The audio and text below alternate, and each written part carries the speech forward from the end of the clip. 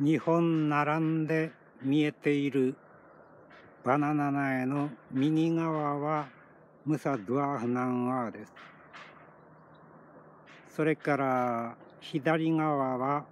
ムサ・リトル・プリンスですね。それでこのムサ・リトル・プリンスなんですがこれはサンルーフ内で重影してたんですね。それで葉っぱを見ますと陽心矮小化はっきり矮小化したのはこの葉っぱでその次に出てきたのがこれなんですね。こうですから矮小化してきているのが分かりますね。そしてその次の巻き葉がひげがここに覗いてますよね。これはこの2番目の矮小葉よりももっと小さな葉っぱになるはずです。ということは今月中にあるいは遅くとも6月の初めには出来するということですね。それでポット植えにしてこのムサドワフナンワーのナンワーと並べて配置したのは背丈の違いについて説明する都合上ここに持ってきたんですね。それで右の方のムサ・ドゥアフナンワもですね角形を見ますと右側にカーブを切って傾き始めていますよね。右側に中央の辺り見てもらうと分かりやすいでしょうがへこんでややへこんでいるように見えるのは右側にカーブを切ってなおかつやや傾いているんです。ということはこれはまあ葉っぱはまだ出すと思いますがおそらく遅くとも7月中旬には出来する感じでこれから信用を何枚か出していくと思うんですね。そうしますと、まあ、最初から育った環境の違いはあるんですけれどもおそらく私がこれまで栽培してきた経緯からするとムサ・リトル・プリンスというのはムサ・ドゥアフナンはの割と豪快な 創始よりもややこじんまりと収まる感じがします。もちろん環境によっては同等ぐらいにごつい創始になることは知っているんですがもし栽培者が望むならある程度の工夫で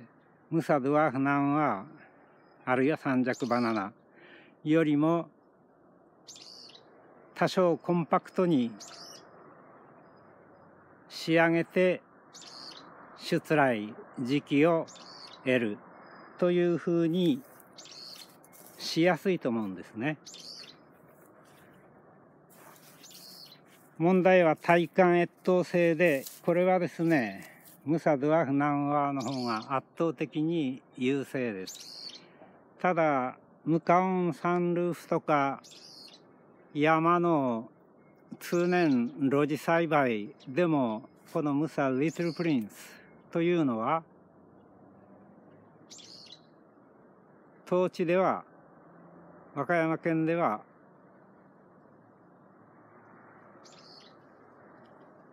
そのまま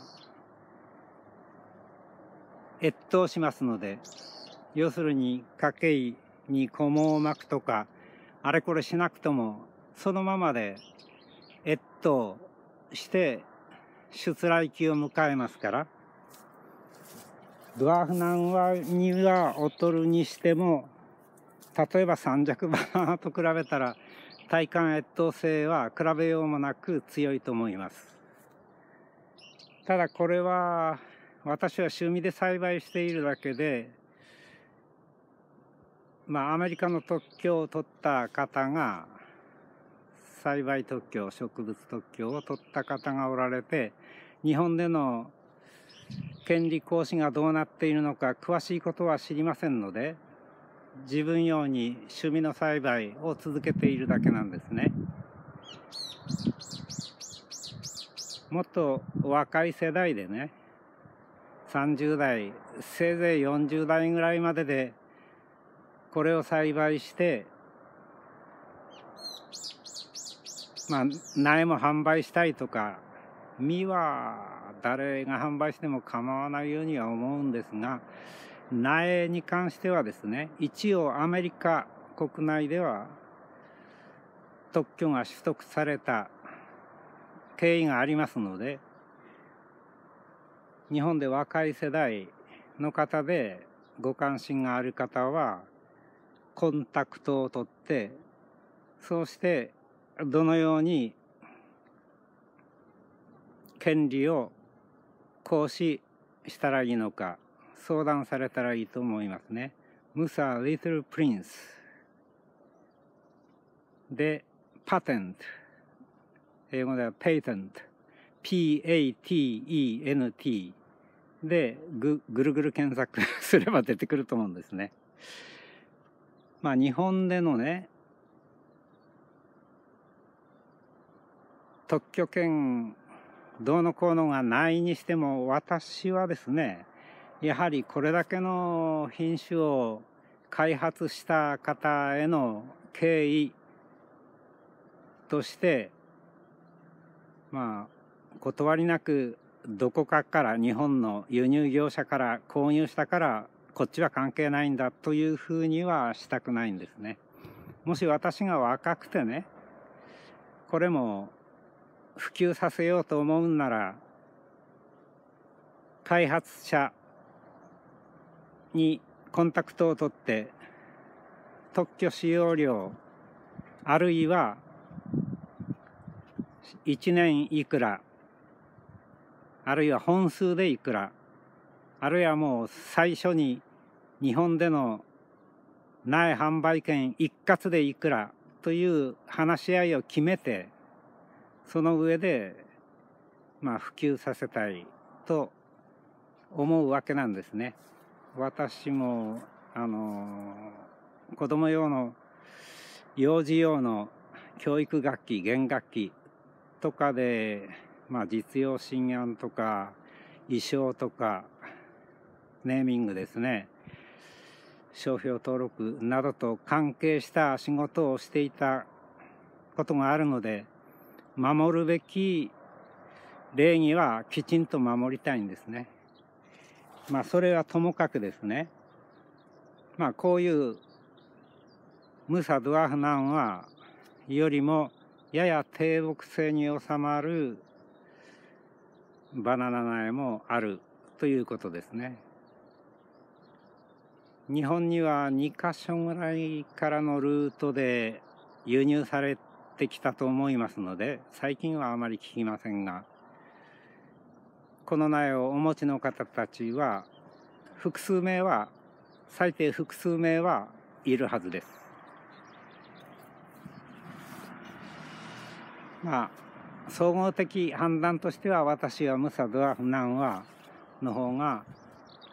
特に本州での体幹越冬性が優れているのと味覚がですね申し分ないということでムサ・ドアフナンはバナナ畑を構築してきたんですね。まあ、他の品種にも関心があるという若い世代の方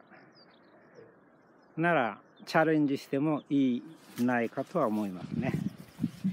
ここでは合計30センチメートルほどのロング不織布ポット、ロングルートラップポットに植え込んであります。で、小株、地中小株がですね、水地中水芽がこの2本の他にもう1個もっと小さなものがこの親と共についているんですね。これらをつけておくと後で最初植えた時はよくてもおそらくこういう先端が土手このルートラポットに土手っ腹をに穴を開けるような感じになると思ってまあのけておいてこれらはまた別にポットに植えて個別に次の世代として育成するつもりなんですね。まあ、私が本州で草丈バナナ苗の草丈にこだわるのはですね台風でアイスクリームバナナ苗そちらの方に見える高い背丈の高い苗ですがアイスクリームバナナ苗とか南和バナトール南和バナナとか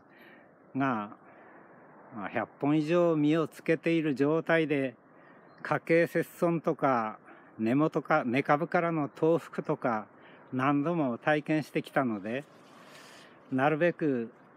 台風被害の少ない背丈で味覚のいいものそして耐寒性のあるものという品種選定の基準に行き着いたわけなのでいくらアイスクリームバナナがですね人気があると言っても南はとしてのアイスクリームバナナはなドワーフ南はあの果実の味と一緒ですからアイスクリームという名前にこだわらなければですね別にドワーフ南はバナナでいいわけですよね。まあアイスクリームバナナという名前に関してはこれまで散々東方のブログで書いてきましたのでもう繰り返しません。まあこの創始サイズをご覧になって何か感じるところがあれば